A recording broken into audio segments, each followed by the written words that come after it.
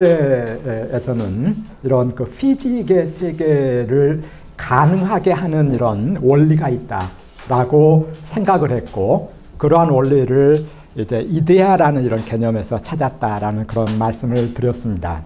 근데 그런데 이제 중세에서는 이 세계가 창조되는 그런 배경이 하나님의 말씀으로 이렇게 설명을 하고 있고 그래서 이제 이 피직을 가능하게 하는 이런 어, 세계가 고대에서는 이데아였고 중세에서는 이제 하느님이십니다. 신. 어, 그래서 이제 이런 것들, 그러니까 피직, 어떤 이런 어떤 사물의 이런 세계를 설명할 수 있는 이런 원리, 이런 것들을 메타피직이라고 부른다고 말씀을 드렸습니다. 그때 그 메타피직은 이제 형이상학, 이제 이렇게 우리말로는 부릅니다.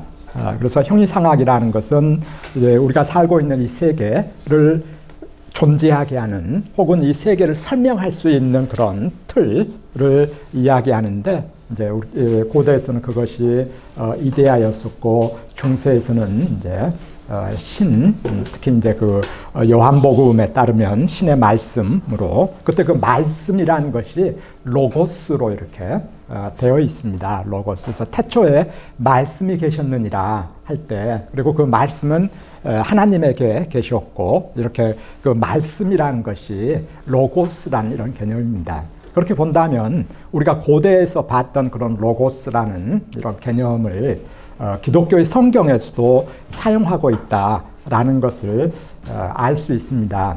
그래서 이제 이런 맥락에서 봤을 때 어, 고대와 중세는 어, 확연히 다른 이런 사회 체제이기는 하지만 음, 그럼에도 불구하고 어떤 문화적인 연속성 을 찾아볼 수 있다라는 그런 어, 이치를 살펴볼 수 있겠습니다. 그리고 이제 고대에서도 이미 그 윤회라는 이런 개념들, 레떼의 강을 건너가고 건너오고 이런 생각들을 이미 하고 있었고 그런 것을 어, 그 에우리디케, 어, 그 다음에 오르페우스의 이제 그런 이야기가 이제 그런 세계들을 보여주고 있고 또 어, 철학자 플라톤도 어, 인간이 정신으로만 저 레테우강 저 이전에 이데아의 세계 살 때는 정신으로만 존재했다가 아, 그 어, 레테르 강을 건너오면서 이 현세에 오게 되면서 육체를 얻게 됐고 어, 그래서 어, 정신이 약화됐다라는 이제 그런 이야기도 이미 하고 있다라는 것을 말씀을 드렸었고 그래서 이제 그이 이제 유대교가 유럽으로 이제 전파될 때그 어, 이제 그런 그 유럽인들에게 이렇게 유럽인들은 이미 예, 소크라테스나 그 이전에 자연 철학자들의 이런 세계를 접하고 있었기 때문에 어, 그런 어, 유럽인들이 믿을 수 있도록 어, 그 이, 유럽의 고대 그리스 로마의 이런 사유를 이제 그 유대교와 접목을 시켰던 이런 철학자들을 교부 철학자들이다라고 이야기를 한다고 그랬고 그 다음에 이제 중세가 본격화되면서 이제 그런 어, 철학자들이 스콜라 철학자들이다라는 이제 그렇게 어, 그 부른다라는 그런 말씀을 드렸습니다. 그리고 이 앞 시간에 어, 교부 철학자 가운데 아우구스티누스 같은 이런 인물들은 이제 어, 교부 철학에 그러니까 어, 기독교의 그런 이론적인 체계를 만들었던 이제 대표적인 그런 인물 가운데 하나인데 플라톤의 이데아가 어, 하나님의 말씀이다라는 그런 유명한 어, 그 어, 이야기도 남기고 그래서 이제 그런 과정들을 설명을 드렸습니다. 그래서 이제 기본적으로 중세의 문화가 그 무에서 시작한 것은 아니고 고대와 일정한 이런 연속성을 가지고 있고 그리고 이제 우리가 중세를 살펴보는 이유는 근대로 넘어가기 위한 이런 과정입니다. 그래서 이제 근대 역시 이제 그 중세의 문화가 어, 일정 부분 이어지고 있고 어, 하는 이런 과정들을 어, 살펴보겠습니다. 그래서 제가 언젠가 한번 말씀드렸듯이 어느 시대든지 그, 그 시대를 넘어설 수 있는 이런 계기들이 그 시대 자체에 내재해 있다라는 이런 말씀을 드렸었고 그래서 이제 그 문화사를 보면 아, 그, 이, 이렇게 늘 변화와 연속 이런 것들이 그리고 어떤 자체 내에 그런 어떤 변화를 위한 이런 어, 변화에 기여할 이런 배경들을 어, 가지고 있습니다. 어, 그래서 제가 그 한 몇 년 전에 어, 그이 문화적 인간학이라는 이제 그 인간학, 그 엔트로폴로지라는 이런 개념을 써서 그런 책을 냈는데 그래서 그걸 어, 어떻게 좀 운이 좋았는지 예, 그것을 K무크라고 이제 우리 그 어, 대중 강좌가 있습니다. 그 정부에서 어, 재정 지원을 해서 거기에서 어, 역사와 문화 속의 인간이라는 이런 제목으로 어, 그 강의를 어, 지금 하고 있고 그래서 또 EBS에서 그, 어, 저의 그, 어, 그걸 그 강의를 어, 2주에 걸쳐서 이렇게 방영을 한 적이 있는데 어, 그런 데서도 이제 그런 어떤 인간이 가지고 있는 이런 감정들이 고대에서부터 이렇게 중세 어, 지금 근대 우리가 살고 있는 이제 포스트 모던 타임스에 이르기까지 어떻게 변화해 가는지 이런 것들을 쭉 그 살펴보는데 늘 그런 어떤 변화들은 그 시대 자체 내에서 어떤 변화의 이런 어, 동인들을 어, 살펴볼 수 있습니다. 그래서 이제 그 고대 이데아라는 이런 것들, 그 다음에 중세의 이제 그런 어떤 신, 하나님이 이 세계를 어, 그 창조하실 때 로고스를 가지고 말씀을 가지고 그때 이제 말씀이라는 것은 굉장히 이성적이고 논리적인 그런 어, 그 말입니다. 이 세계의 그런 어, 그 이미 고대에서 말, 이야기를 뜻하는 단어가 두 가지가 있다고 그랬습니다. 하나는 로고스가 있고 또 다른 하나는 미토스가 있고 그런 말씀을 드렸습니다. 그때 그 미토스라는 것은 이제 그 미토스가 영어가 돼서 나타난 단어가 미스입니다. 미스. 미스는 신화 이런 뜻이죠. 그래서 미토스는 어, 문학 작품에서 허구적인 문학 작품에서 나타나는 그런 어, 비논리적이고 비이성적인 말을 미토스라고 그리스어로 이렇게 불렀습니다. 그래서 이제 미토스 이것을 신화라고 얘기하죠. 고대 이제 그리스 로마의 이런 신화 이런 것들은 세계를 설명하는 어떤 이론적인 틀이 될 수 없는 이제 그런 말입니다. 그런데 이제 논리적이고 이성적인 말 이런 것들을 로고스라고 이렇게 어, 그 불렀고 그래서 이제 그이그 그, 이 태초에 말씀이 계셨고 그 말씀 하나님에게 있으셔 어, 계셨고 그다음에 그 말씀으로 이제 이 세계가 탄생됐다라고 얘기하면서 어, 그 태초에 이제 카오스가 있었고 그러니까 흙과 어, 물이 뒤섞여 있었고 낮과 밤이 뒤섞여 있었고 그런데 이제 그 말씀이 이제 빛이 있으라 하심에 어둠과 빛이 갈라지고 그래서 빛이라는 것은 말씀으로서의 그런 빛 어, 뭐빛 영어로 light 이런 것들과 이런 일대일 대, 어, 그 일대일 대응 관계 논리적인 이런 그 이 세계에 대한 설명으로서 이성적으로 설명하는데 그런 이론적인 틀이 어, 될수 있는 것이고 그래서 중세 이런 신앙이라는 것은 그 어, 성경의 내용을 믿으면 이 세계를 다 설명할 수 있는 이런 이론적인 이런 틀이 되는 이제 이런 그, 어, 어, 이, 그 그런 이치를 살펴볼 수 있습니다. 어, 그래서 이제 어, 그 유럽에 특히 이제 뭐 저도 독일에서 공부를 할때 어, 교회를 다녔는데 아주 그 이, 설미, 그 목사님의 이런 설교 이런 것들이 이런 어, 이런 그 말씀들이 굉장히 그 이성적이고 논리적입니다. 그리고 그런 하나님의 이런 말씀을 이제 그 성경의 내용들을 목사님이 이제 그 어, 전해 주시는데 아주 그, 어, 그, 뭐 똑같이 어떤 신, 신의 이야기여서 똑같은 신화라고는 하지만 고대 그리스 로마 신화하고는 이제 완전히 다른 그런 미토스의 세계하고는 완전히 다른 그런 현상을 볼 수 있습니다. 근데 이제 이런 그 형이상학의 근거가 됐던 이제 그 고대 이데아나 하나님의 말씀이나 그 다음에 이제 그런 역할을 했던 것이 근대에는 이성입니다. 이성.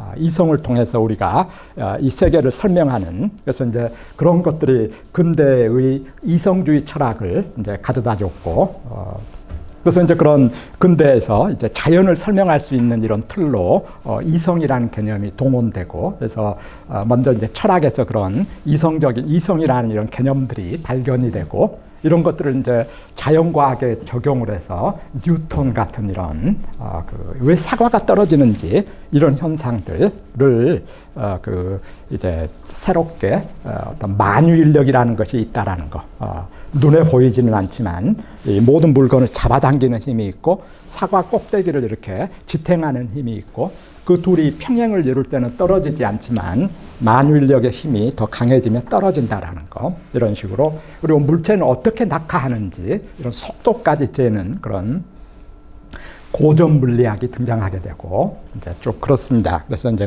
근대 초기 이제 어, 1600년 이후에 이제 나타나는 그런 어, 이성을 통해서 이 세계를 설명하는 현상들이 쭉 지속되다가 1900년 이후에 들어서면 그 이제 이성이 이 세계의 일면을 설명해 줄 수는 있지만 어, 그렇지 않은 부분들도 많다라는 이런 맥락에서 또 다른 이런 학설들이 어떤 상대성 이론 같은 이런 것들 어떤 시간이라는 것은 물리적으로 이렇게 째깍 째깍 째깍 이렇게 균일하게 이렇게 잴수 있는 이런 시간으로 흘러간다라고만 생각을 했는데 우리가 빛의 속도로 이렇게 움직이면 시간의 흐름이 정지할 수 있다라는 이런 주장들이 어, 제기가 되고 하는 그러면서 이제 어, 지금 우리 시대에는 이성에 대한 신뢰가 조금 이제 약화되는 이런 post modern 이런 times로 흘러가는 이런 배경들을 볼 수 있습니다. 그래서 이제 이 앞 시간에 어, 이앞 시간에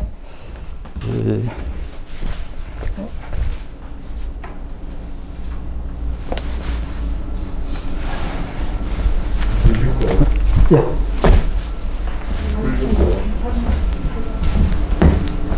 네. 자.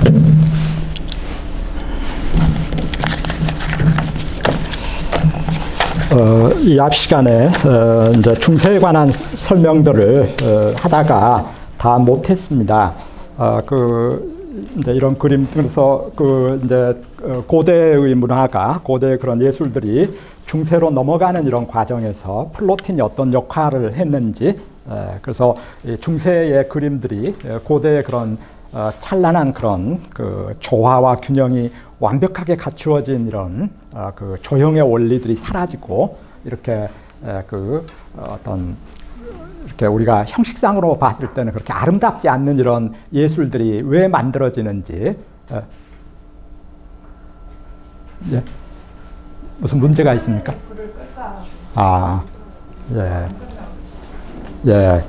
어, 그왜 이런 그 조화 균형을 에, 지키지 않는 이런 예술들이 만들어지는지 이제 그런 말씀도 드렸습니다. 그래서 이제 어, 플로팅 같은 이런 인물이 어, 예술에서 중요한 것은 어, 그 정, 예, 그 겉모습의 아름다움이 아니라 그 배후에 있는 어떤 정신의 세계를 어, 그 정신의 세계에 들어가는 것인데 그때 이제 그 정신의 세계는 성경의 내용입니다. 아, 하나님이 이 세계를 만드시고 우리를 이끄신다라는 그런 성경의 내용을 어, 이해하는 것이 이제 중요한데 아, 그 어, 사물 자체가 아름다워 버리면 우리의 눈은 사물에서 멈추고 그 배후에까지 이르지 못한다라는 그런 어, 말씀도 드렸습니다. 아, 그래서 이제 어, 그 이제 중세의 그런 이제 그 조형의 이런 원리들이 어, 만들어져 가는 이런 과정들 쭉 살펴봤습니다. 이렇게.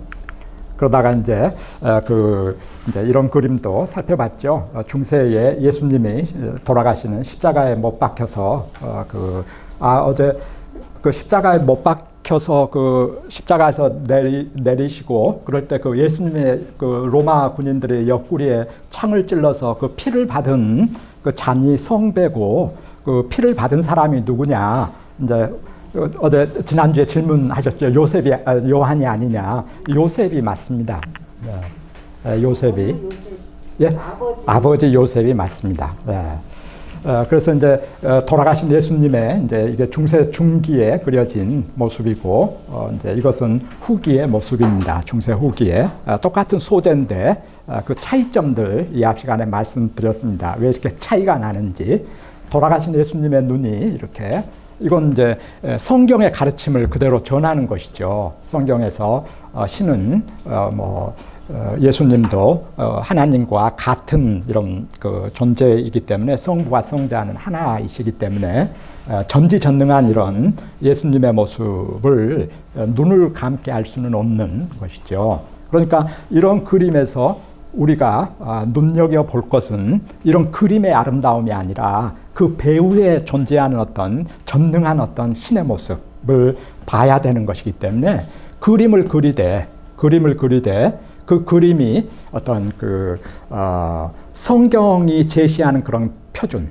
아, 성경이 제시하는 어떤 성경이 허용하는 성경적인 내용의 테두리 안에 있어야 하는 겁니다.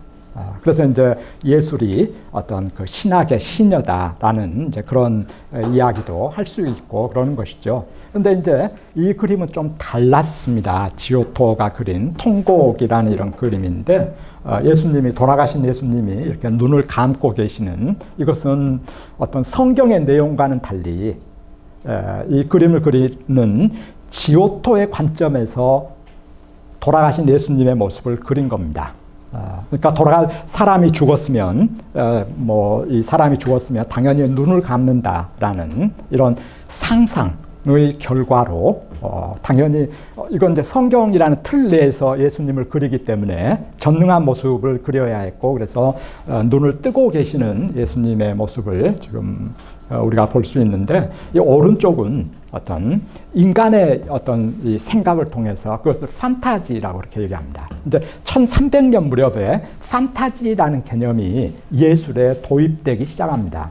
그래서 이제 오늘 우리가 살펴볼 어, 그 단테의 신곡, 어, 그 다음에 보카치오의 데카메론 같은 이런 데서 그 판타지가 개입하게 되면서 어떤 중세의 그런 그 성경의 내용을 예술로 이렇게 재현하는 이런 예술이 아니라 아, 인간의 그 상상을 통해서 이제 그 만들어지는 이런 예술의 세계가 어떻게 등장하는지 아, 이제 이런 모습들을 살펴보는데 이런 그림이 그려졌던 때 지오토가 활동했던 때가 1300년 무렵이고 그 무렵에 단테의 신곡이나 아, 아, 그 아, 보카치오의 데카메론이나 아, 아니면 어, 그것과 비슷한 어, 시기 그 중간쯤 어, 그 어딘가에 어, 페트라르카의 그 승리라는 이런 그 작품들이 그 이 무렵에 등장합니다. 그래서 이제 인간의 어떤 상상을 통해서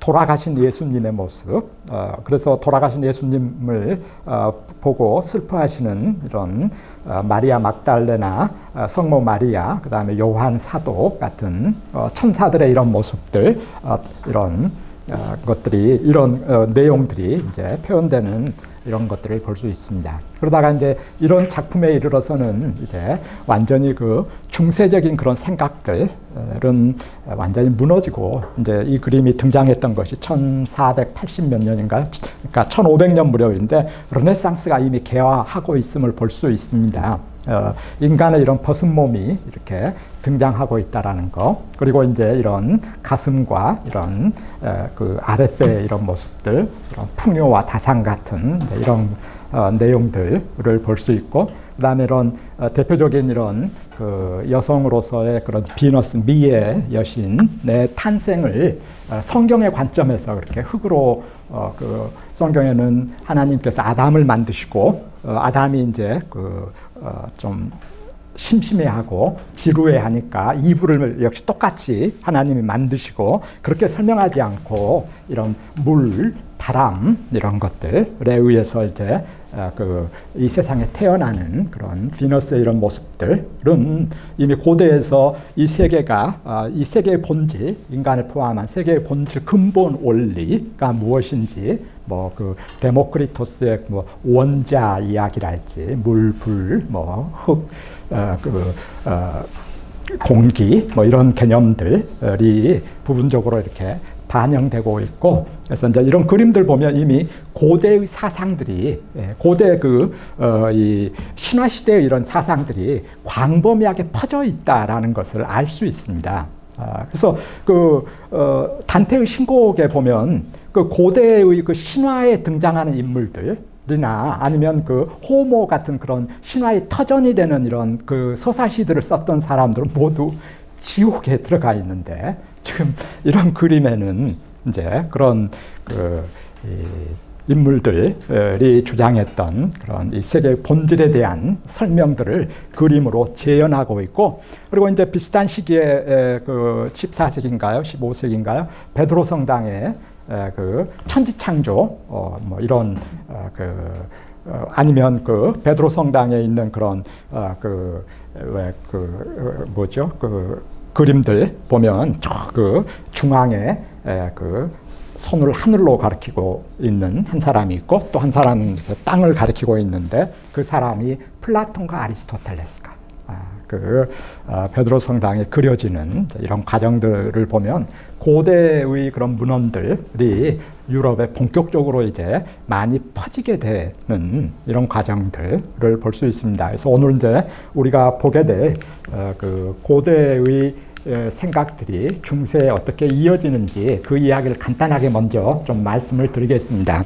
어, 이합 시간에 중세의 역사가 이제 중세 초기, 중기, 후기 이렇게 이어진다라는 그런 말씀을 드렸는데 그 초기의 예술은 대체적으로 비잔틴 양식 이렇게 부릅니다. 비잔틴. 이때 이 비잔틴은 지금 터키에 있는 그 이스탄불입니다. 그 당시에는 비잔틴으로 불렀었고 어, 그리고 이제 어, 그, 어, 이 콘스탄티누스 대제가 이곳으로 이제 그 로마 제국을 옮기면서 그것을 콘스탄티노플로 당시에 이제 어, 개명해서 부르기도 했는데 그곳에서 어, 나타난 이제 최초의 예술을 비잔틴 양식 그 다음에 중세 중기와 완전히 일치하진 않지만 대체적으로 로마네스크 양식 그 다음에 이제 후기에 고딩 양식 이런 것들을 어, 보통 이제 예술사에서 어, 이렇게 그 어, 시기 구분을 하는데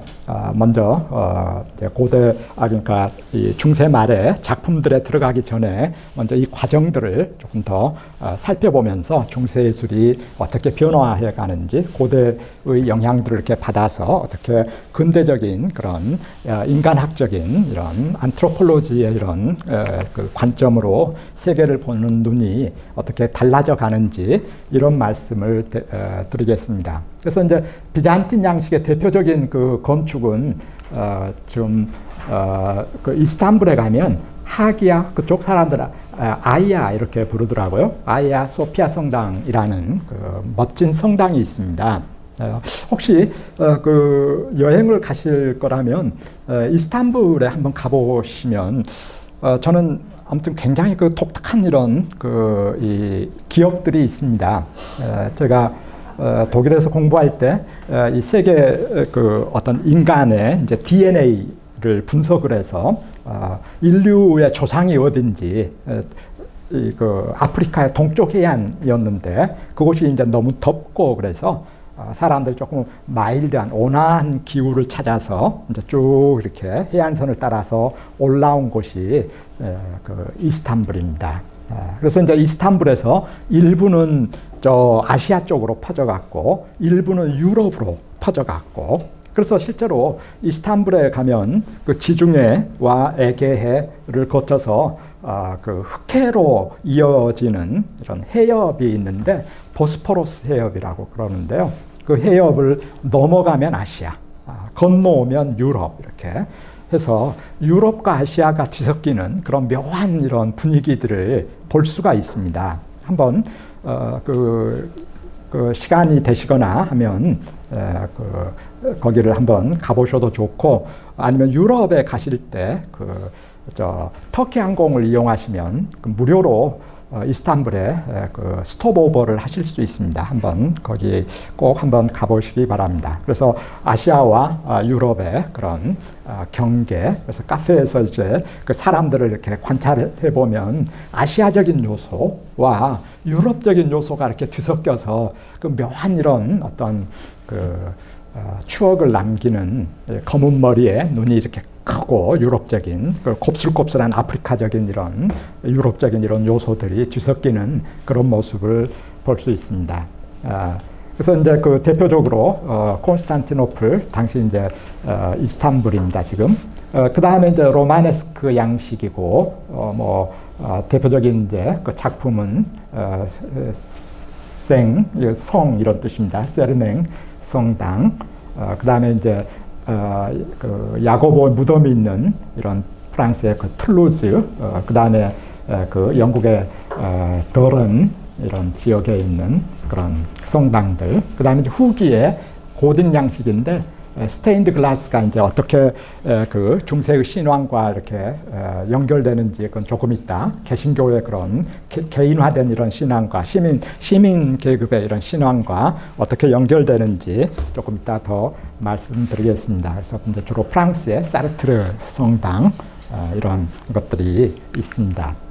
그래서 이제 그 어, 비잔틴 양식 그 간단하게 말씀을 드리면 예를 들면 이제 이런 작품들입니다. 아, 비잔틴 양식의 아, 이 제목은요. 어, Court of Justinian 이렇게 되어 있습니다. 아, apse mosaic 아, 산 비탈레 그래서 아, 유스티니아누스의 코트 궁정 뭐 이런 뜻이겠습니다. 유스티니아누스 궁정의 그 아, 이제 사람들이죠. 어, 앱스 모자이크 앱스는 성당에 이제 뭐 우리나라도 성당 유럽에 가면 이제 성당들 보시면 그 제일 그 어, 입구의 반대쪽 뒤쪽으로 봐야 되겠죠. 그 어, 설교하시는 이제 그 카톨릭의 사제분들이 설교하시는 이 부분들을 앱스라고 이렇게 부릅니다. 앱스의 그 모자이크화로 이렇게 되어 있는 이런 그 다음에 산비탈레 라벤나 이렇게 되어 있는데 라벤나는 이탈리아 북쪽에 있는 지명 이름입니다. 그곳에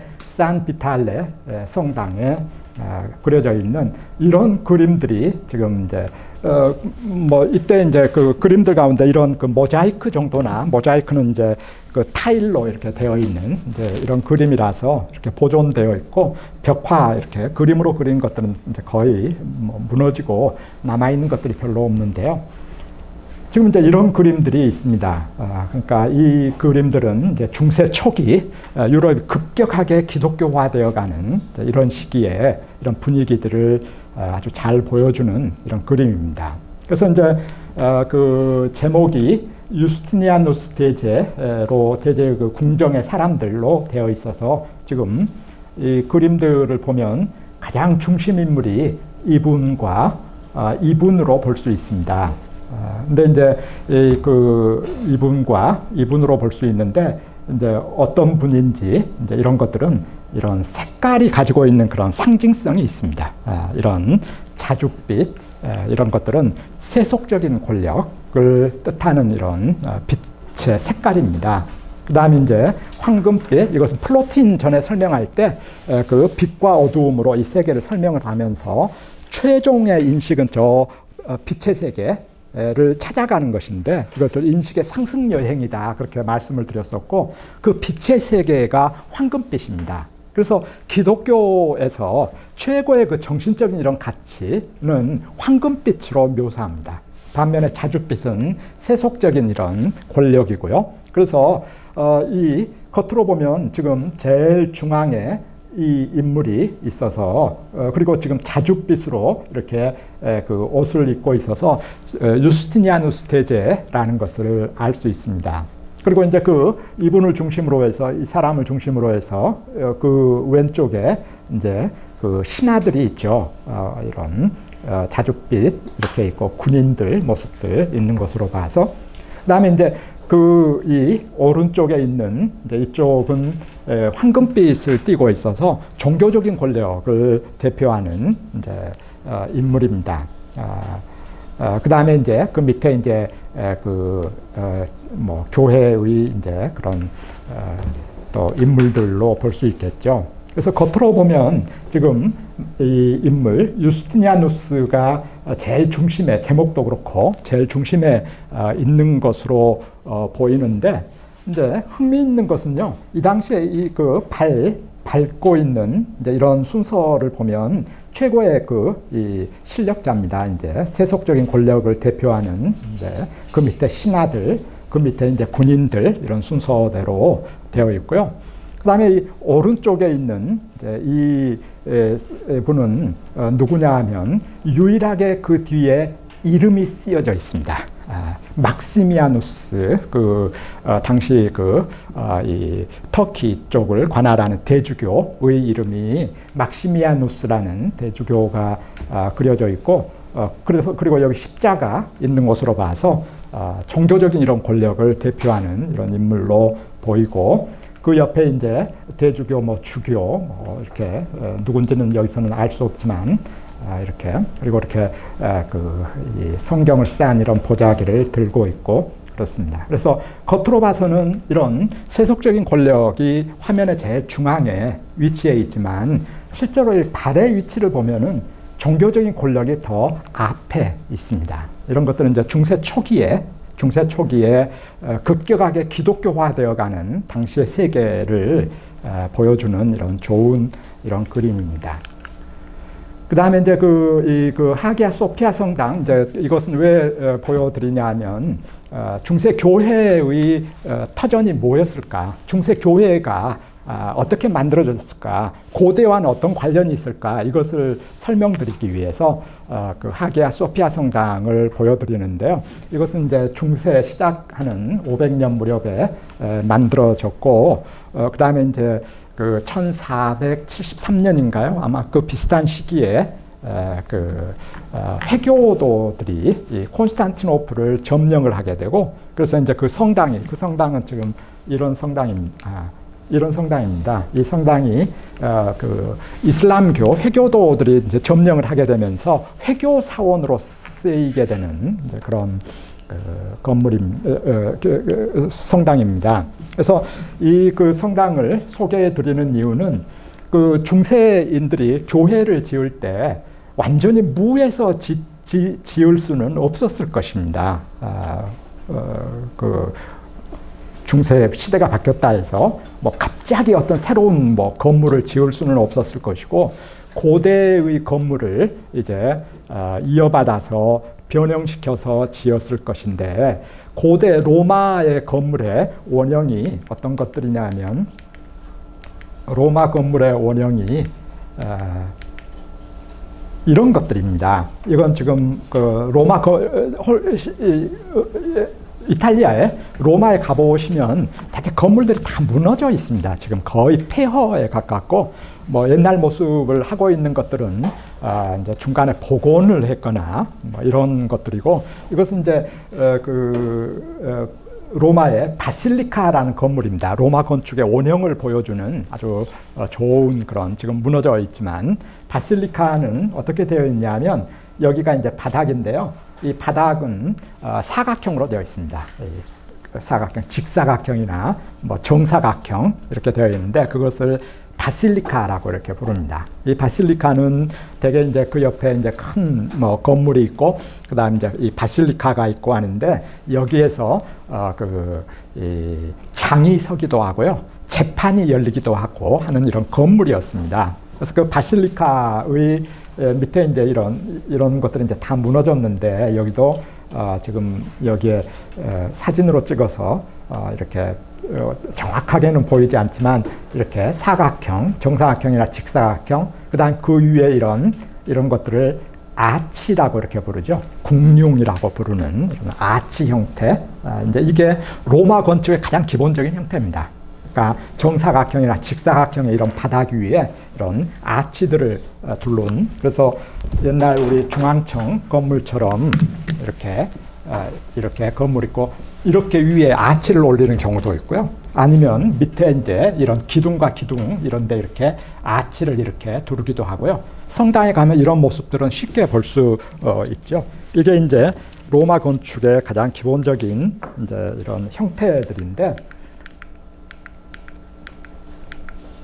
형태들인데 그 이제 이런 것들입니다. 그 중세 초기에 아까 하기야 소피아 성당, 하기야 이것은 heilig 그러니까 holy 이런 뜻입니다. 성스러운 소피아는 지혜, 그러니까 아, 그 성스러운 지혜의 성당 뭐 이런 뜻이겠는데 이런 밑에 바실리카에다가 위에 이렇게 아치 궁룡을 올려놓은 그리고 이제 이런 그 어, 그 기둥 위에도 이런 아치 형태로 되어 있는 이제 이런 것들이 로마 건축의 기본 형태고요. 어, 그 다음에 이제 어, 동방적인 요소가 어, 이제 유일하게 이 아치와 밑에 이 벽 기둥을 떠받드는 이걸 펜단티브라고 이렇게 부릅니다. 펜단티브가 있는 게 이제 동방적인 요소고 그래서 원래 로마의 건축이 당시 이제 그 터키 쪽 그쪽은 이제 지금 이제 페르시아, 아, 아라비아 뭐 이런 쪽 아랍 이런 쪽이겠는데 그쪽에 이제 그 펜단티브와 결합을 해서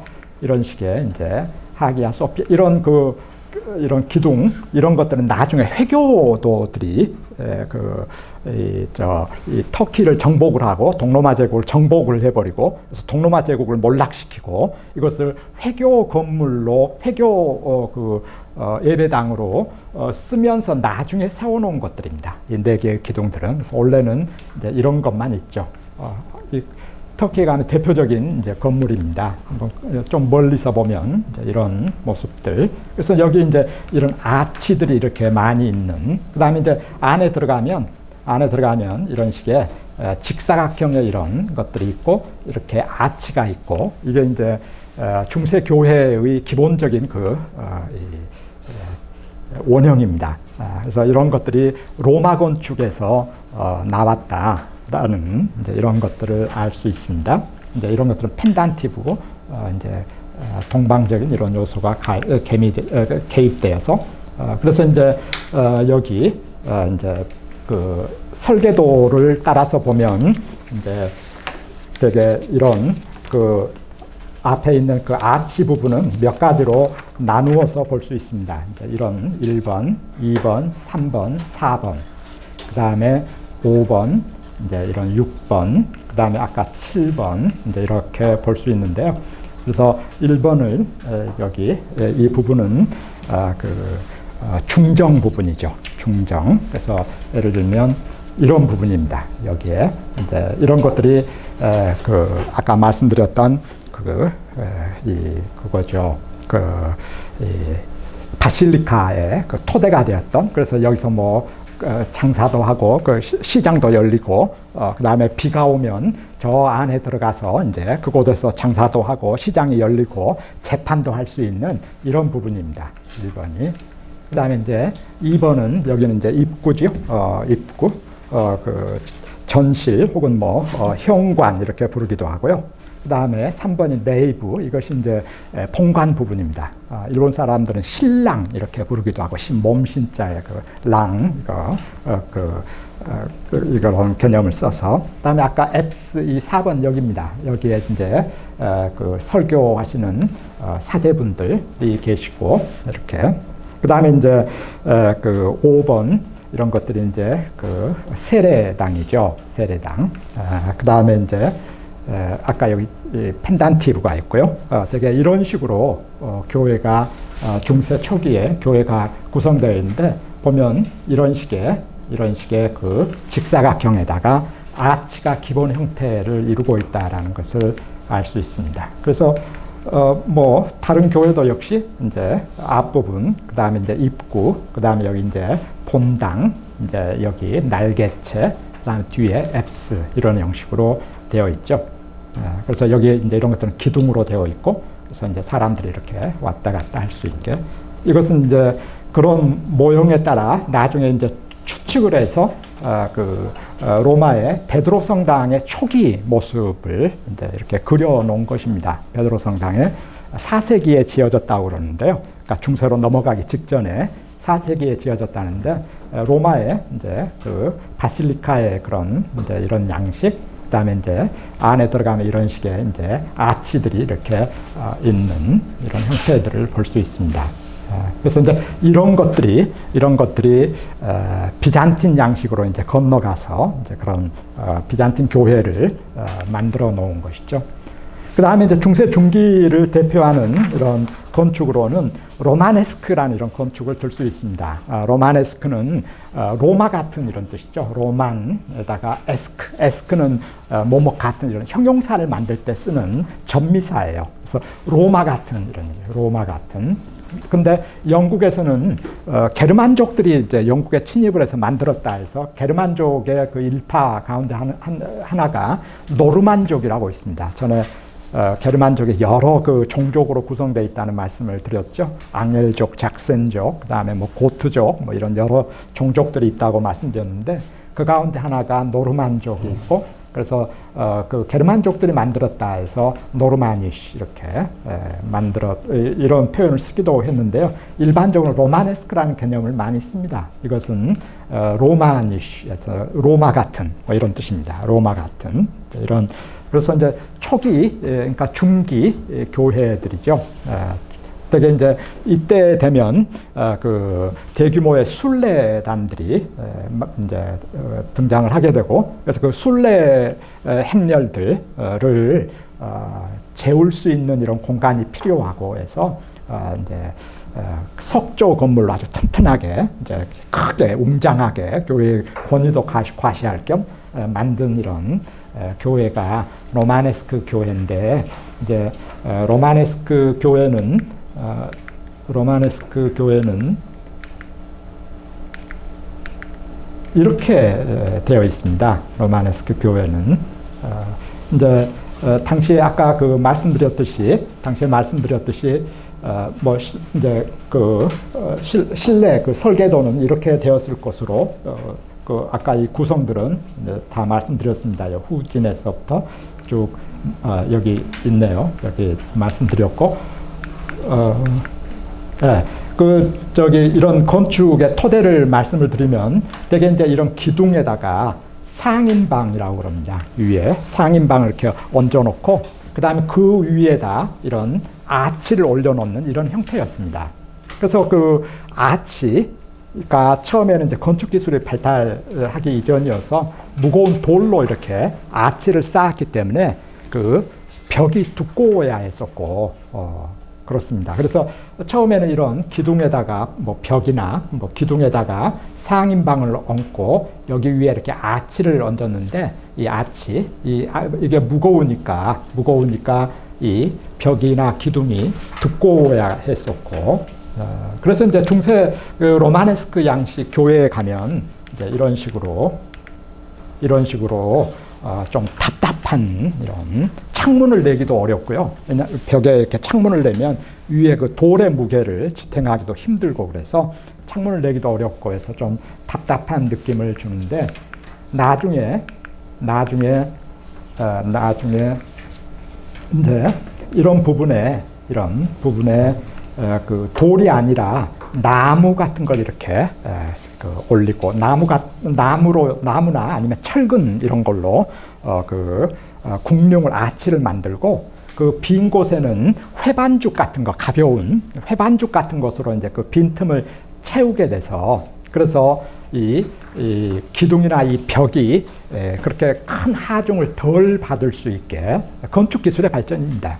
건축 기술이 발전하면서 위에 이렇게 무거운 돌을 이렇게 어, 아치가 반드시 들어가야 됐으니까 어, 돌을 이렇게 에, 얹었다가 이제 나무로 이렇게 둥그런 아치를 만들고 빈칸에 이제 회반죽, 흙 같은 거 이런 가벼운 이런 것들을 어, 이제 섞게 됨으로써 어, 위에 그 무게들이 이제 무겁지 않게 되고 그러니까 벽과 벽 사이를 길게 이렇게 어, 넓힐 수 있게 되고요. 어, 그리고 이 그 벽에 또 어, 창문을 많이 낼 수 있게 되고요. 어, 그래서 이제 이런 식의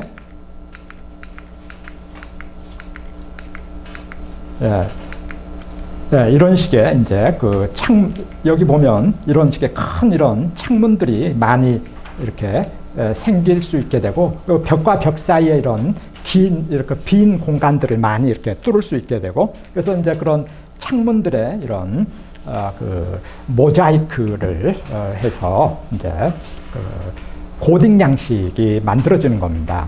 어, 그래서 이제 그 고딕 양식들을 보면 이런 식의 어, 벽이 벽이 그렇게 무겁게 이렇게 큰 위에 큰 하중이 크, 지 않기 때문에 벽을 이렇게 날렵하게 만들 수 있게 되고요. 어, 벽에 이런 아까 공간들 빈 공간들 를 어, 넣게 되고 이제 이런데 스테인드 글라스를 이제 넣게 되고 그리고 이제 벽이 너무 가벼워질 수 있으니까 이런 버팀목을 이제 만들 수 있게 되고 그래서 어, 교, 교회가 높이 우뚝 솟을 수 있게 됩니다. 교회가.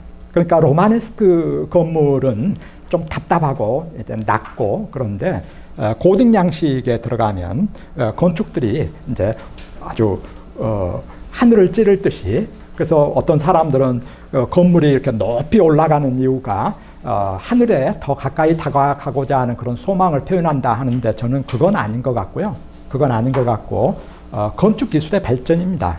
건축 기술이 발전하게 되면서 더 건물을 어, 우람하게 보일 수 있게 이렇게 높이 이렇게 솟아서 어떤 신의 권위를 표현할 수 있는 이런 형태가 만들어진 것으로 어, 저는 그렇게 봅니다. 그래서 이제 어, 이렇게 이런 것들이 어, 그 어, 그래서 이제 그, 그 건축 이제 주로 이제 프랑스에 많이 있는데요. 프랑스에 어, 이제 그 고등 양식 아까 설명을 했습니다. 이 고등 양식들은 스테인드 글라스가 이제 어, 중요하게 들어가게 되고 그래서 이제 그곳에서 쏟아지는 이런 빛을 통해서 이제 어떤 그 어떤 신비 감 이런 것들을 느끼게 되고 그래서 이제 이 무렵에 신비주의가 또 발전하게 됩니다. 그 신비주의라는 것은 어떤 인간이 그 어떤 신비한 어떤 순간에 신을 만나는 이런 순간들이 있을 수 있습니다. 그러니까 인간과 신이 이렇게 일대일 대면을 하게 되는 아주 독특한 이런 예를 들면 어떤 산에 갔는데 갑자기 거기서 하나님과 내가 하나가 되는 하나님의 어떤 육성을 듣게 되는 이제 이런 어, 느낌을 받을 수 있는데 바로 이제 이런 것들은 신앙의 개인화를 의미할 수 있습니다. 그러니까 중세 카톨릭에서는 카톨릭 교회 자체가 하나의 국가와 같은 하나의 세계와 같은 이런 존재였는데 우리가 이 앞 시간에 루터의 종교개혁의 핵심은 시민계급을 위한 이런 종교를 만드는 것이고 그때 이제 시민계급은 어떻게 만들어졌는지 설명을 했습니다. 어떤 어, 그 수공업에 종사하면서 돈을 어, 모으고 그래서 모은 돈을 가지고 어, 교육을 받고 자식들을 교육시키고 해서 아주 그 이상적인 그런 교양과 어, 재산으로 이렇게 어, 최고의 그 엘리트 계층, 중세의 귀족 계층을 능가하는 이런 신분의 에, 그 새로운 계층들이 만들어졌다. 아, 그리고 이제 이런 인물들은, 이런 그 시민 계층들은, 어, 이제 자기 자신을 그 자체로 완전한 존재다라고 이렇게 생각을 했고 그것이 individual이라는 이런 영어 단어가 만들어지는 토대가 됐다. 그래서 이제 근대 사회에서는 인간은 누구나 다 천부적인 이런 어, 그 어, 이 권리를 타고난 이런 존재로 이해됩니다. 아, 이제 이런 생각들이 더 발전해 나가면 왜 그런지, 왜 인간은 천부적인 권리가 있는지, 인권 이런 것들이 있는지, 이제 인간은 이성적인 존재라는 거, 어, 스스로 사유하고 판단할 수 있는 이런 존재라는 거. 인간은 그 스스로 성년이라는 거, 어, 미성년 상태가 아니라, 그래서 칸트가 계몽이란 무엇인가? 라는 그래서 유명한 말을 합니다. 미성년 상태에서 벗어나게 하는 것 이것이 계몽이다. 그러면 미성년 상태는 뭐냐? 그 어, 나의 이성을 사용할 수 없는 이런 상태다. 아, 근데 인간은 타고날 태어날 때부터 이성적인 사유 능력을 가지고 태어났고 그래서 타인의 지도 없이 타인의 지도, 이제 이것은 중세적인 이런 가치관을 말하겠습니다. 어떤 어, 목자가 하나님 어, 목자로서의 그 예수님이 계시고 그 다음에 그 어린 양과 같은 인간이 있고 그래서 그 어, 그때 인간은 미성년이고 어, 그 우리를 이끌어 주시는 하나님은 이제 어, 그 전능하신 분이고 이제 이런 개념과는 다른 주장들을 하는 것이죠. 인간은 어떤 자기를 이끌어 주는 후견인이 없어도 신이 없어도 스스로 이성적인 사유를 할 수 있는 능력을 타고났고 그래서 스스로 성년의 상태도 상태고 그래서 이런 상태를 보여주는 것이 계몽주의다. 라고 얘기를 하는데 이제 이러한 과정들이 이제 그 중세 말부터 서서히 싹트기 시작합니다. 중세 말에 이제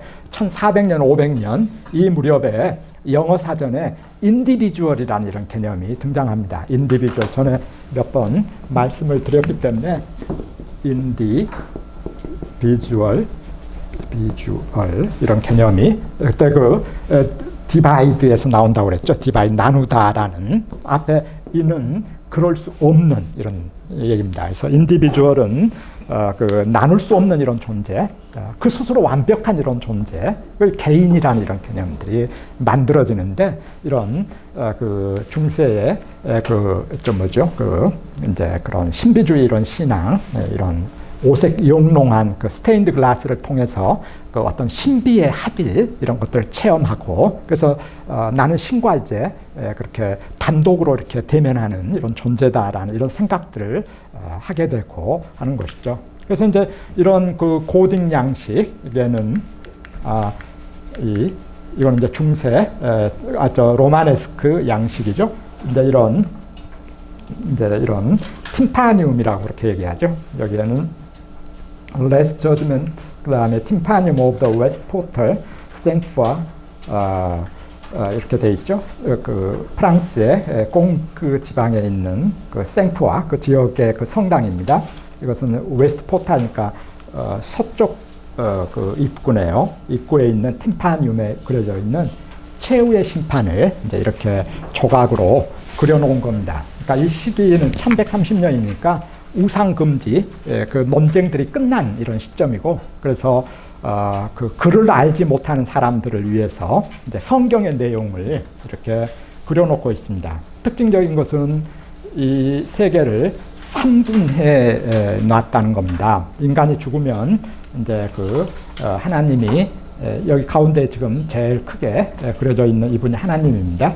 어, 그 다음에 여기 여기에 이제 아, 그 어, 그게 있죠. 어, 그것을 만돌라라고 그러죠. 어, 계란형 모양의 만돌라. 그다음 그 뒤에 이제 후광이 있고요. 후광이 있고 십자가가 이렇게 있고.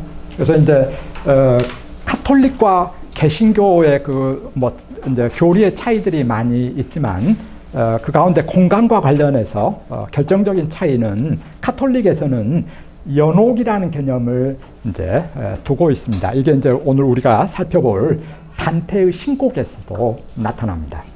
근데 개신교에서는 연옥을 두지 않습니다. 개신교에서는 지옥이냐 천국이냐 이 두 가지만 들고 있는데 카톨릭에서는 그러니까 이거 이제 로마네스크 중세 건물이기 때문에 이 세계를 저 지하에 이렇게 어, 어, 악한 사람들이 에, 머물고 있는 이 지하 고통스러운 벌을 받는 지하. 그 다음에 이제 연옥입니다. 사람이 죽어서 어, 그 심판을 이제 받고 개선할 수 있는 이제 그 어떤 그 중세 인간이 죽음에 이르는 어, 그런 일곱 가지의 그런 죄악 이런 것들이 있다고 그랬는데 그런 것들을 개선할 수 있는 이런 공간이 연옥입니다.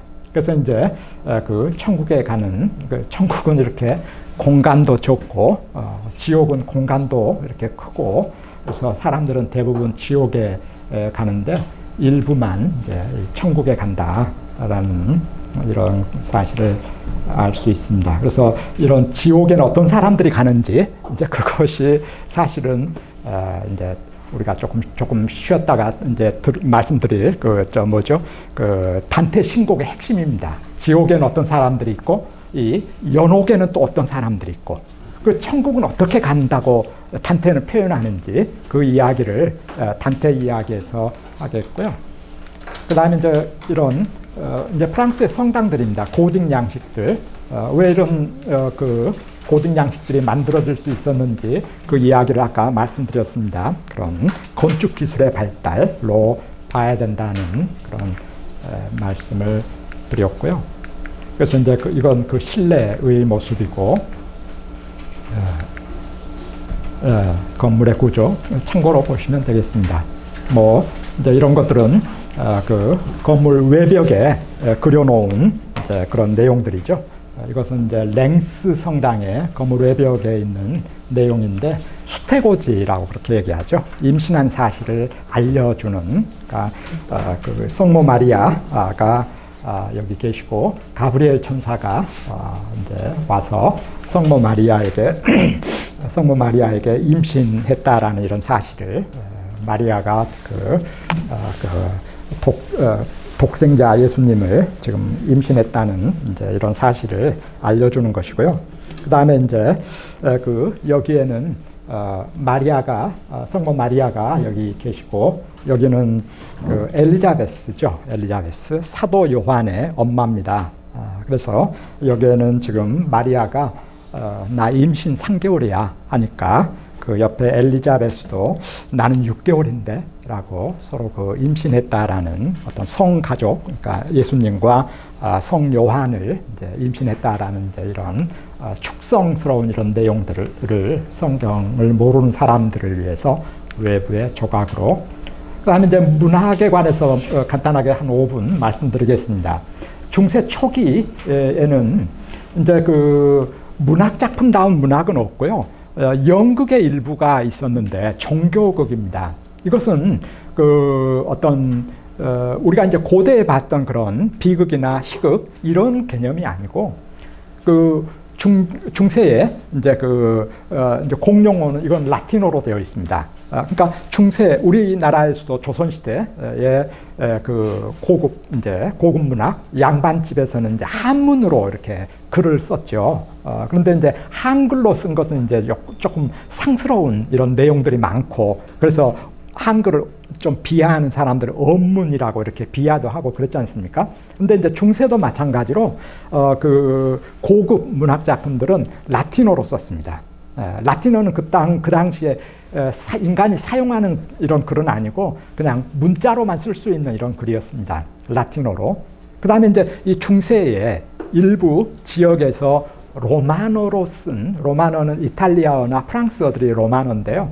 로마노로 쓴 이런 그 소설들을 글들을 로만스라고 얘기하는데 이 로만스는 어, 그이 어, 로만틱 로만틱의 오원이 되는 이제 그런 내용입니다. 로만틱은 이제 중세 마치 우리나라의 그 고급 문학은 한문으로 썼고 그 다음에 이제 한글로 쓴 이런 언문 좀 비하의 뜻으로 여기는 이제 남녀 상렬지사 이런 개념을 써서 조금 뭐 야한 내용들이 많이 있는데 중세에서도 마찬가지로 그 로만스라는 이런 장르는 어떤 인간의 상상이나 그런 어, 공상들이 대폭 가미된 이런 글들 을 그러니까 교훈 이제 중세의 주류 문학은 교훈적인 이런 내용인데 성경을 잘 믿어야 되고 이런 교훈적인 내용인데 그 반대의 이런 문학들을 로만스라고 이렇게 불렀고 이것이 이제 흔히 우리가 낭만주의 할때 어, 낭만주의에서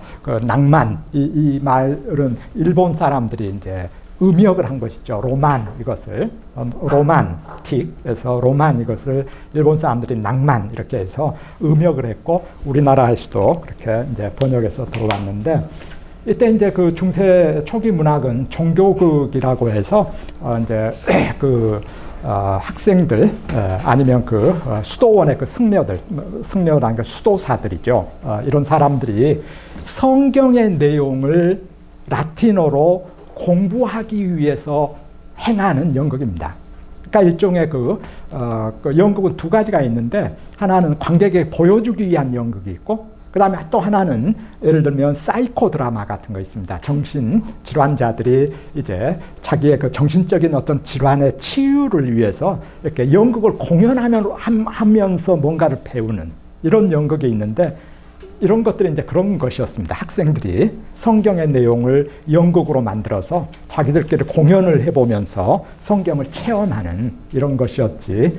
어, 우리가 고대에서 봤던 비극과 희극 막 이런 식의 관객에게 어떤 감정이입을 가능하게 하고 이런 연극은 아니었습니다.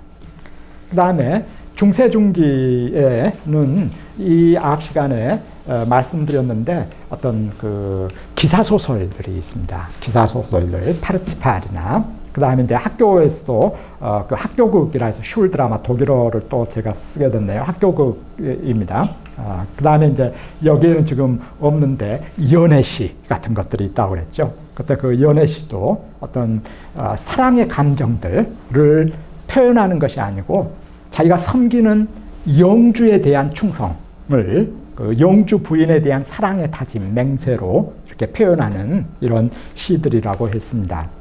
그다음에 이제 중세 후기에 이제 비로소 인간의 감정들이 생기기 시작합니다. 인간의 감정들이 이제 초기에는 종교극들 이제 그 가운데서 이제 대표적인 게 순환극들입니다. 아, 순환극 예수님이 십자가에 못 박혀 어, 돌아가시기 직전의 그런 어떤 상황들 예수님의 순환 패션 그 순환을 이제 그 연극으로 공연하는 건데 제 강의가 너무 재미가 없었는데 그런 순환극인데 이런 것들이 발전해서 사육제극, 카니발극이 만들어집니다. 그래서 이제 순환극, 순환극은 이제 예수님의 그 순환을 이제 그 예수님이 십자가에 못 박혀서 어, 그 어, 골고다 언덕으로 가시는 이제 뭐 이런 장면들을 이제 공연하는 종교극이었는데 후기에 들어가면 사육제 그 지금 우리가 카니발이라고 부르는 이런 연극들이 14세기에 만들어집니다. 이런 것들을 보면 시대의 변화를 확실하게 느낄 수 있습니다. 카니발 이것은 어, 아마 여기도 어, 그 카톨릭 어, 교회에 다니시는 어, 분들이 더러 계실 텐데 어, 그 예수님이 부활하신 날은 어, 그이 춘분이 지나서 첫 번째 보름달이 뜬그 어, 주의 일요일 날 예수님이 돌아가신 것으로 설명을 합니다. 그때가 그때가 부활절입니다. 그러니까 부활절은 음력으로 계산을 합니다. 음력으로. 그런데 이제 그 예수님이 돌아가시기 3일 전에 이제 어, 금요일 날 그러니까 예수님은 십자가에 못 박혀서 돌아가시는데 그래서 이제 그 어, 예수님이 돌아가신 그, 사시, 어, 그 금요일 이전에 40일간을 유럽 사람들은 그 사순절로 해서 사순, 순, 그게 11일 순이라고 그럽니다. 그래서 사순절은 40일간을 참회와 그런 고행의 이런 길로 그래서 뭐 술도 안 마시고 뭐좀뭐 금욕적인 이런 생활을 합니다. 그래서 대개 어, 부활절이 4월 초나 중순쯤 음력에 따라서 조금씩 조금씩 달라지는데 매년 그래서 그 40일간이니까 대개 2월 한 중순이나 하순경 어, 그때 수요일 어느 수요일 그때 이제 수요일부터 그 사순절이 시작됩니다. 그래서 그 수요일을 제의 수요일 이렇게 부르죠. 성경에서 아니 성그 기독교 어, 교회에서 그래서 아니 제 아니면 뭐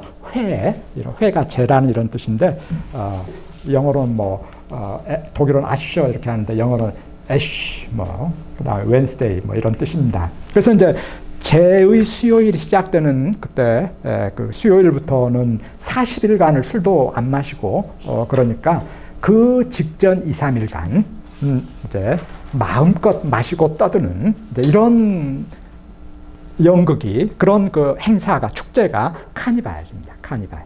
그때 이제 카니발 에, 이때는 이제 우리도 탈춤 보면 그 평소에 하지 못했던 어떤 양반들에 대한 어떤 분노랄지 화 막 이런 것들 어 뭐 평소에 늘어놓지 못한 자신의 그 내면의 감정들을 폭발시키듯이 어 유럽에서도 그런 행사를 이렇게 카니발 그 이렇게 얼굴을 가리고 이렇게 얼굴에 이렇게 칠을 해서 자신의 신분을 드러내지 않고 어 평소에 하지 못했던 행동들을 하는데 이런 것들은 어, 그 중세 문화가 어, 그러니까 인간의 감정의 표현, 어떤 불만이랄지 뭐 이런 감정의 표현들을 금지했던 그런 중세의 문화들이 중세의 그런 어, 그 어, 그렇죠 이런 어, 교회의 가르침들 이런 것들이 이제 끝나가고 있음을 보여주는 이런 행사들입니다. 그래서 이제 대표적인 독일의 유럽의 이런 카니발 행사 가운데 에, 대표적인 게 그때 그 요즘도 그때 카니발 때 그 대표적인 행사가 어, 아내가 남편의 넥타이를 이렇게 자르는 이런 풍습이 있다고 합니다. 아, 그래서 평소에 얼마나 남편한테 에, 그 어, 괴롭힘을 당했으면 어, 어, 우리나라도 뭐 남존여비 이런 것들 좀 있죠. 남편의 집에서 이렇게 폭군처럼 이렇게 군림하는 이런 것들이 좀 있는데 유럽에도 어, 그런 것들이 있어서 그런지 어, 그렇게 남편의 이렇게 목을 자르는 이런 어, 행사로 넥타이를 자르는 이제 이런 것들이 있다고 그럽니다. 그래서 이제 이런 것들을 유럽에서 카니발 축제가 그래서 카니발 때는 평소에 하지 않았던, 하지 못했던 행동들을 마음껏 이렇게 발산할 수 있는 그래서 이제 신분이 드러나는 것을 막기 위해서 가면을 쓰기도 하고요. 아니면 여기는 지금 가면은 예, 여기 가면을 썼네요. 가면을 쓰고 그래서 독일에서 어, 중 2월 중순이나 하순쯤 아, 대개 월요일부터 아, 그 이, 제의 수요일 시작되기 직전까지 이런 카니발 축제들이 열리는데 마인츠 같은 이런 도시에 가면 대대적으로 카니발 축제가 열립니다. 에, 잠깐 쉬었다가 이제 예, 중세 말에 단테의 신곡, 어, 그 다음에 이제 에, 그 데카메론 이제 이런 작품들을 조금 더 설명을 드리면서 어떻게 중세에서 근대로 이어지는지 이런 문제들을 좀 살펴보겠습니다. 예, 잠깐 쉬었다 하겠습니다.